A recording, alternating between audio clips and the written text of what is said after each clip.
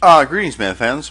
All right, so this is day three of chapter 7a, and there's not a note sheet for this one, but I'm just going to give you some um, some of the topics here. It's really two topics. We have zero exponents, so when the exponent is zero, and negative exponents, when the exponent is like 5 to the negative third, x to the negative third power.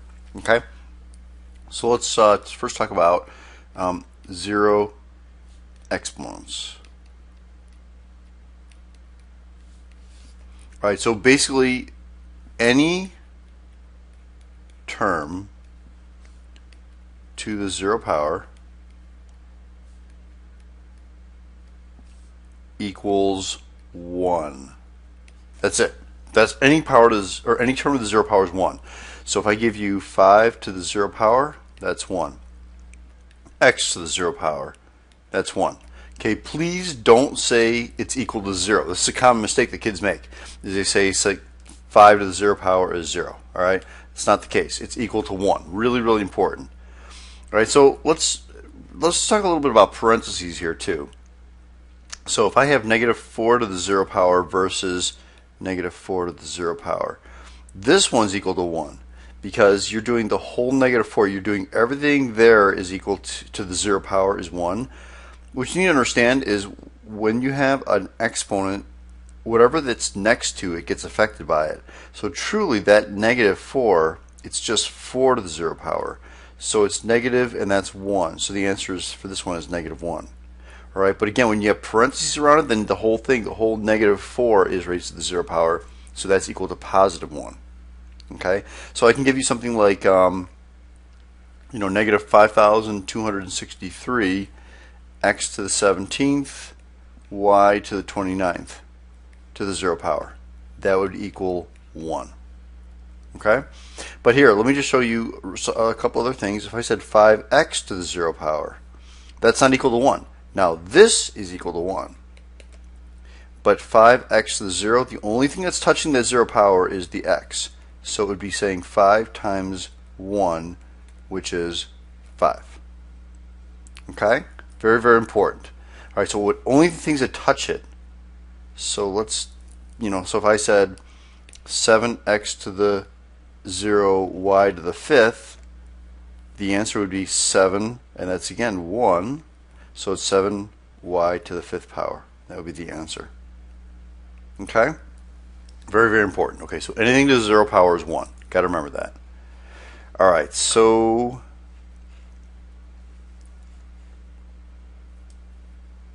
let's keep going here. Um, negative exponents.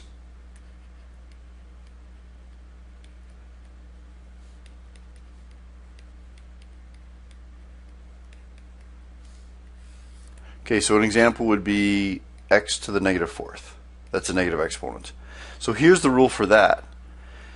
Um, I'm going to say you're going to move that x to the negative fourth to the other side of the fraction. And I know a lot of you are like, well, Mr. Gross, I don't have another side of the fraction. So what I'm going to do is I'm going to create a fraction. And I can do that over 1, right? If you're, you know, 15 years old and I want to create your your age as a fraction, you would just say 15 over 1. So I'm going to say x to the fourth over 1. Uh, so let me show you a couple. Well, let me do the example and then I'll give you the rules. So x to the fourth over 1. So the first thing I'm going to do is I'm going to move this to the other side of the fraction. So I'm going to move that to the bottom of the, of the fraction. And then I'm going to change this from a negative to a positive, and that's my answer. Okay, that's all you do. So the first step is you move to other side of the fraction. And the second step is you uh, change the exponent to positive. Okay? Two things. So move it to the other side of the fraction, and you change the exponent to positive. Now, notice this was on top, and I moved to the bottom. Well, if it's on the bottom and it's negative, you move it to the top. It's that simple. All right? So if I give you um, 8 to the negative 2 power. First thing you're going to do is move it to the other side of the fraction. So let's make it a fraction, and you're going to say 1 over 8, and then make it that positive. So I did two things. Okay, let me highlight those, right? First thing I do is I move to the other side of the fraction. So I moved it down there. It's a big arrow. So I moved it down there. And then the next thing I did is I made this uh, positive. So 8 squared, put it in your calculator, I don't care. So 8 squared is 64. And that's your answer, 1 over 64. Okay? So let's let's look at um, let's look at a few more examples. Okay, so um, let me start out with 1 over x to the negative 3. So it's now it's in the denominator. So it's easy. You just move it to the other side of the fraction. So it's x, and then make it positive. So it's x cubed. I know a lot of you guys want to do x cubed over 1, but again, try not to do that over 1. It's like if I ask you how old you are and you go, oh, I'm 15 over 1. Nobody really says that, right? You see, you're 15. So if it's x cubed over 1, it's just x cubed. All right? Let's do a couple more. So if I have x squared y to the negative fourth, what's got a negative exponent? Just like when we had a zero exponent, the only thing that, that it gets affected is whatever touches the exponent. Okay, so this is the only thing that's affected by that negative 4. So you make it as a fraction, and then it's x squared over y to the fourth, and that's your answer. Okay? So, uh, same thing with, let's do uh, 4 to the 4 to the negative 2 raised to the third power. You do everything the same as before, math fans. So you remember you multiply these together, so it's 4 to the negative sixth power. Now, your final answer, this is important. So the final answer basically has no negative exponents. Okay? Very important, very important. No negative exponents. So 4 to the negative 6, you're going to write that as 1 over 4 to the 6th power. Okay, that's kind of a big number, so I'm going to leave it as 1 over 4 to the 6th. Okay, so if I give you x to the 4th power to the negative 3rd power, that's going to be x to the negative 12th power, which is 1 over x to the 12th power. Change to positive and move to the other side of the fraction. Okay, so that's your answer. Okay, not bad. So let's do, I get, just I got a bunch more examples to do you guys.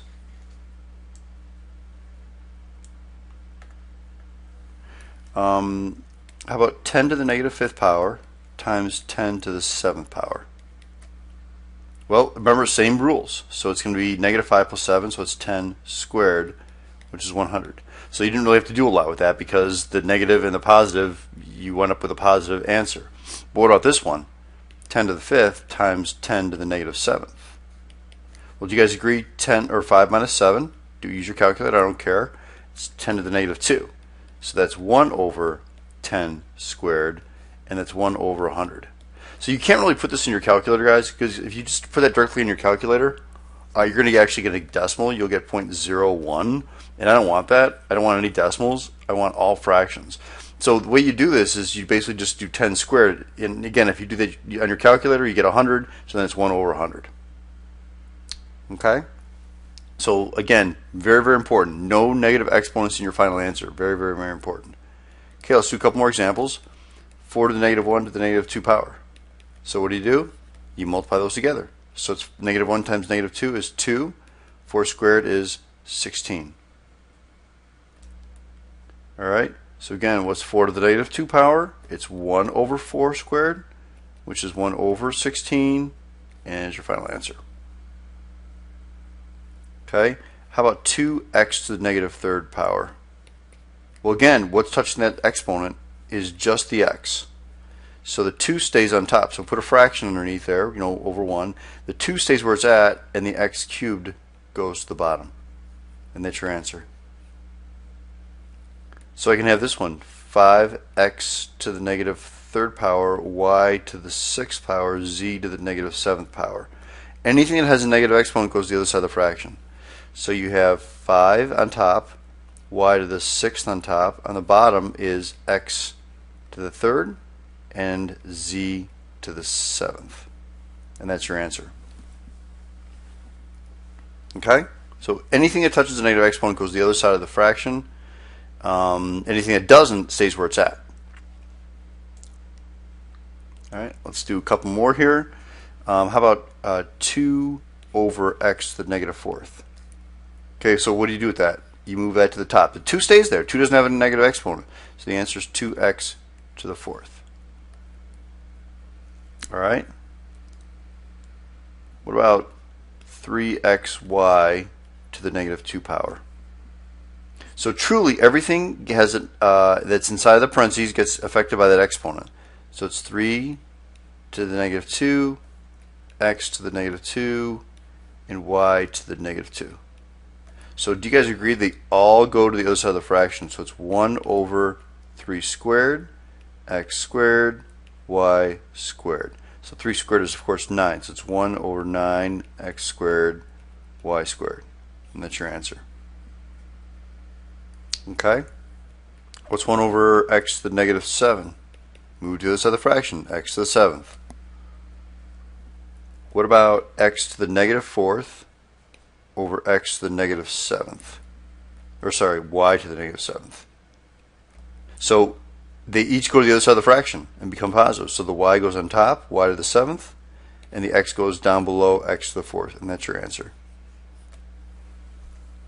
Okay, not bad. Let's do, I just want to do a few more examples with you guys. Okay, so let's combine a couple of them together here. Let's do a few more examples. If I said 5x to the 0, y to the negative 3, z to the 10th, what happens? Well, do you guys agree? This goes to 1, so you can ignore that.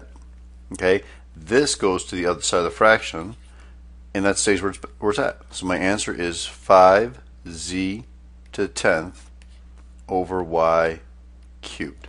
That's it. Okay? So these really aren't that bad. Again, it's it's a matter of just being careful when you have a negative exponent, moves the other side of the fraction. When you have a positive exponent, it stays where it's at. Um, so let's see. We'll, can we do a couple more here? How about uh, 3 to the negative 1 power to the negative 2 power? So what do you do? Multiply those together. And that becomes 3 to the positive 2, which is 9. So that's kind of nice. Nothing actually happened. Had almost like double negative there, and it was nothing, at least nothing happened. Okay? Um, x to the negative third times x. Well, remember, when there's just an x, put a 1 there. So you get x, when you add those together, negative 3 plus 1 is negative 2, and the answer is 1 over x squared. Okay? Um, 2, let's say negative 2x to the third, y to the negative fourth, z to the 0 to the third power. Alright, so remember what you're going to do. You're going to say negative 2 cubed, x cubed, cubed, y to the negative fourth, cubed, and z to the 0 cubed. Alright, so lots of parentheses here. You type in negative 2 cubed in your calculator. Okay, parentheses are important, so you end up getting negative 8. That's x to the ninth. 3 times 3, that's y to the negative 12th. And that's z, 0 times 3 is still 0. So of course, this is 1, right? z to the 0 is 1. So that's why it's still 1, because 1 cubed is still 1. All right, so anyway, let's our final answer then is negative 8 x to the ninth over, because that's that cancels out, and then y to the 12th on the bottom. Okay? So that is your answer, negative 8x to the ninth over y to the 12th. All right, let's try here just a couple more, and then uh, and then that'll be it. How about uh, x to the seventh over y to the negative third power? Okay, so that y to the negative third power is the only thing that gets affected, comes up. So you end up getting x to the seventh times y to the third power. Okay? How about uh, 5 over 7x to the negative fourth power z to the 10th power? So what's the only thing that comes up? Just this. So it's going to be 5x to the fourth power. That comes up, and the rest of it stays where it's at. And there's your answer. Okay? Not, I don't think it's too bad. So one last one, and then we'll be done. Uh, 1 over parentheses 2, no, let's say negative 2 x squared to the negative fourth power. Right, so it's 1 over negative 2 to the negative fourth power and x squared to the negative fourth power. Okay, and we're going to move that to the top, so it's going to be negative 2 to the positive fourth power, and um, again, we can just move, if you want, just move this up and say, here, I'm going to actually, that's almost complicated. Let's do this one first. Do you guys agree that's x to the negative eighth? All right, so I'm going to move that to the top. It becomes x to the eighth. I think that's easier to deal, deal with it that way. And what's negative 2 to the fourth? Put in your calculator, put the parentheses in there, and you end up getting 16. So the answer is 16x to the eighth power. Okay, so that's it, math fans. 16 minutes of this lesson. Hopefully you guys are good to go with this. And uh, remember, anything to the zero power is 1. Anything with a negative exponent moves to the other side of the fraction. All right, that's it, math fans. Have an outstanding day. Adios. Goodbye.